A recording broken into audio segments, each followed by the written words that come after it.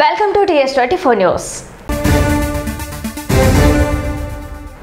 మనకు స్వాతంత్రం వచ్చిందెప్పుడు అదే తెల్లదొరలను తరిమికొట్టి మనం మొట్టమొదటిగా పంద్రగస్ట్ జరుపుకుందెప్పుడు. పంతొమ్మిది వందల నలభై ఏడు ఆగస్టు పదిహేను. మరి అందాల తార అందులోనూ దేశభక్తి తన నరనరాలను నింపుకున్నానన్న కంకణ రనౌత్ ఎందుకు కాదంటోంది? మన దేశానికి పంతొమ్మిది వందల నలభై ఏడులో లభించిన స్వాతంత్రం ఆంగ్లేయుల భిక్ష మాత్రమే. నిజమైన స్వాతంత్రం వచ్చింది రెండు వేల పద్నాలుగులోనే అంటూ వివాదాస్పద వ్యాఖ్యలు చేసి తీవ్ర విమర్శలు ఎదుర్కొంటున్న బాలీవుడ్ నటి కంగనా రనౌత్ కథేంటి లెట్స్ వాచ్ ఇట్ మన దేశానికి పంతొమ్మిది వందల నలభై ఏడులో లభించిన స్వాతంత్రం ఆంగ్లేయుల భిక్ష మాత్రమే. నిజమైన స్వాతంత్రం వచ్చింది రెండు వేల పద్నాలుగులోనే అంటూ వివాదాస్పద వ్యాఖ్యలు చేసి తీవ్ర విమర్శలు ఎదుర్కొంటున్న బాలీవుడ్ నటి కంగనా రనౌత్ తన వాదనలను గట్టిగానే సమర్థించుకున్నారు.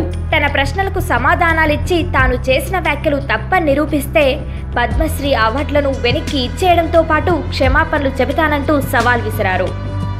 ఆమె శనివారం Instagram స్టోరీస్లో just to set the record state అనే పుస్తకంలోని పేజీలను షేర్ చేశారు. వరుసగా పలు ప్రశ్నలు సంధించారు. పద్దెనిమిది వందల యాభై ఏడులో ప్రథమ స్వాతంత్ర సమరం జరిగిందని నాకు తెలుసు. మరి స్వాతంత్రం వచ్చిందని చెబుతున్న పంతొమ్మిది వందల నలభై ఏడులో ఏ యుద్ధం జరిగింది? ఎవరైనా చెప్పగలిగితే నా పద్మశ్రీ అవార్డును తిరిగి ఇచ్చేస్తా. క్షమాపణ కూడా చెబుతా అని కంగనా రాసుకొచ్చారు.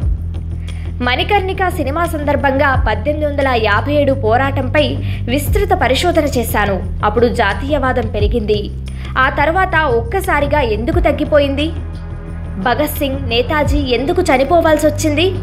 ఆ ఇద్దరికి గాంధీజీ ఎందుకు మద్దతు ఇవ్వలేదు?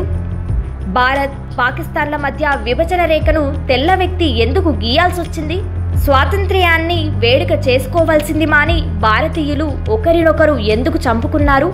ఈ ప్రశ్నలకు నేను సమాధానం తెలుసుకోవాలనుకుంటున్నాను అని ఆమె పేర్కొన్నారు.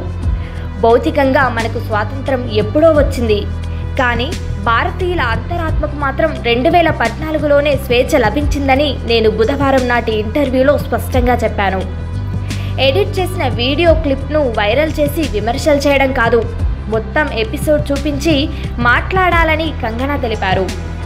దేశ స్వాతంత్రంపై అనుచిత వ్యాఖ్యలు చేసిన సినీ నటి కంగనా రనౌత్ నుంచి గతంలో ఆమెకు ప్రదానం చేసిన అన్ని జాతీయ పురస్కారాలను వెనక్కి తీసుకోవాలని శివసేన పార్టీ డిమాండ్ చేసింది.